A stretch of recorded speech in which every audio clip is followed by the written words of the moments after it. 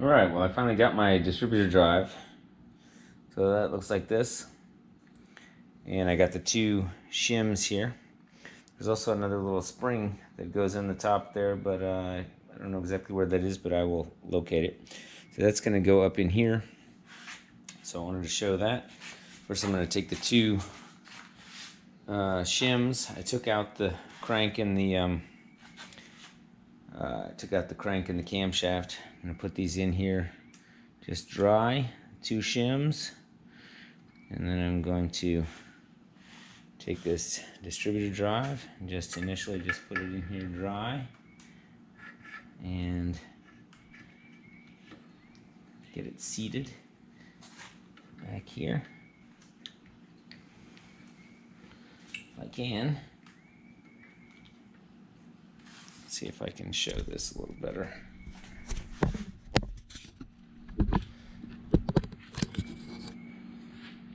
so it's going in here get the shims onto the distributor drive here first. Get that in there. Okay, that looks good. Perfect. Okay, so you're supposed to check the end play on this. I only really have two shims. So, you know, it spins well.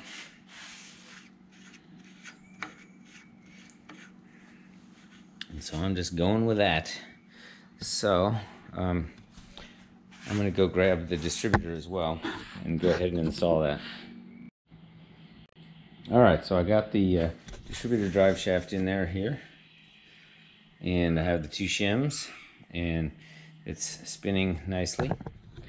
And then uh, what I'm trying to do now is go ahead and get the um, distributor itself in there. So it has the O-ring on there. And here's my new billet. Um, clamp. So get this guy in there.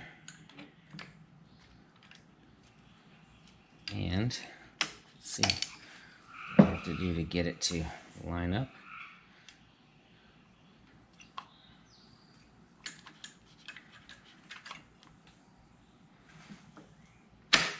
Yeah, that's in there. Now it should be spinning it. There we go. You can see that. If I if I spin this it spins that.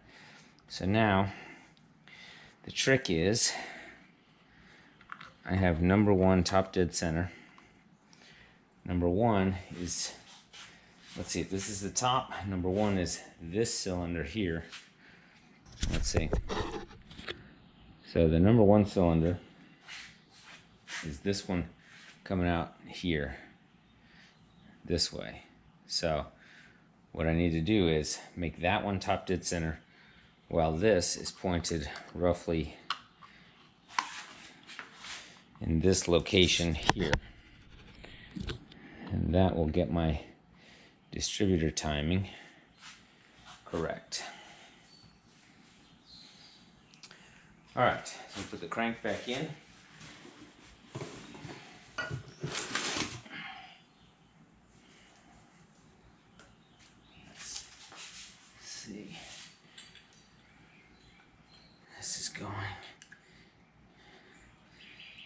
This one's going up.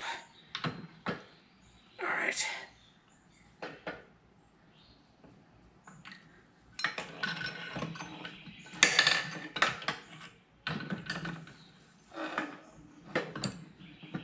All right.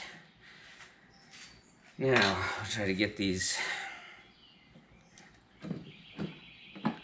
dowel pins roughly lined up. Let's see how the camera's looking here. I'm gonna bring it over on this side.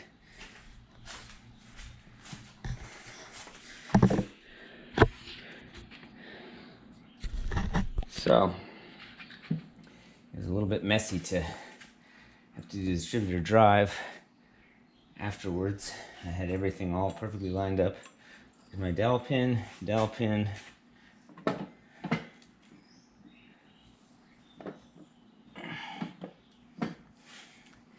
had everything all lubed up and everything, so let's just jumping the gun here.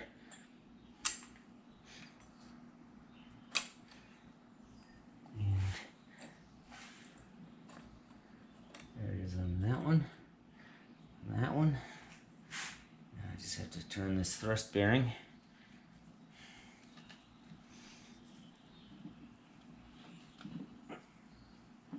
Should be right there. Okay. That's seated. This one's seated. Let's see about this one.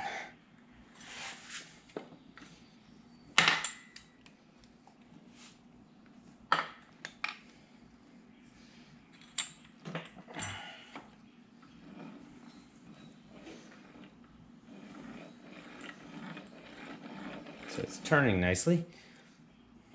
And the distributor's turning. Let's just take a look and make sure that it is seated here my with my dowel pins.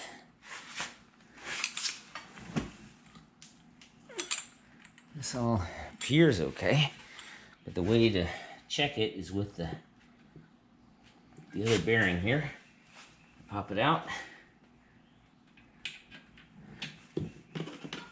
It's already in my red case half, which is I have to pop it out here. There we go. All right, so if I put this on here and it doesn't rock at all, which it doesn't, that means it's perfectly seated. Okay, perfect. I'll put this back in the case. I'm all ready to pop that together. Okay, bearings in. Now, let's put the camshaft back in.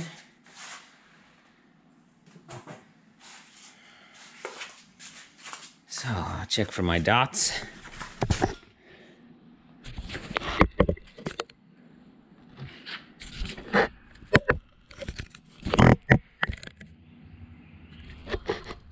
There we go.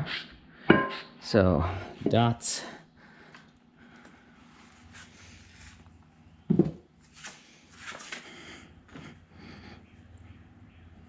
There they are. And this guy up. Found my dot. Too bad I'm getting junk on this thing. Where is the dot?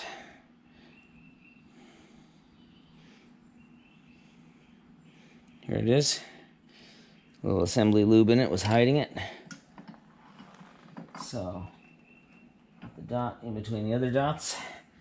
Pop this camshaft in.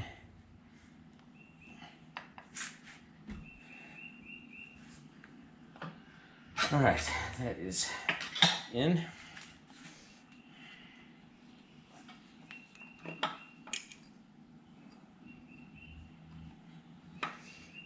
And just check the dots again. That is one thing you have to be absolutely certain of. Where is the dot?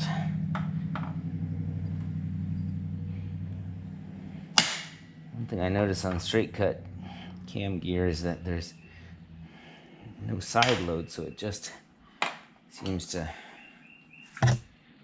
turn spin really nicely, freely.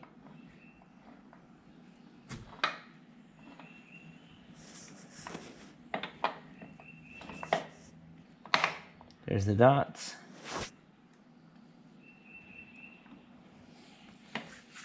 Let me look really closely at this. And it is. The dot is not in between the other dots. Here? Let's see. Set this up here. Look directly at the dots. Okay, so I'm gonna pull this thing out. Find the dot.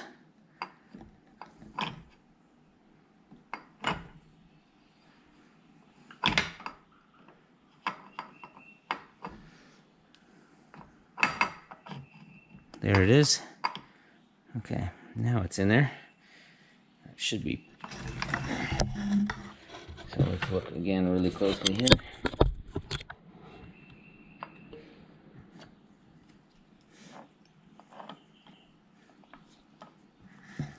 In there, I've got the dot in between the dots. Let's just look very, very closely here.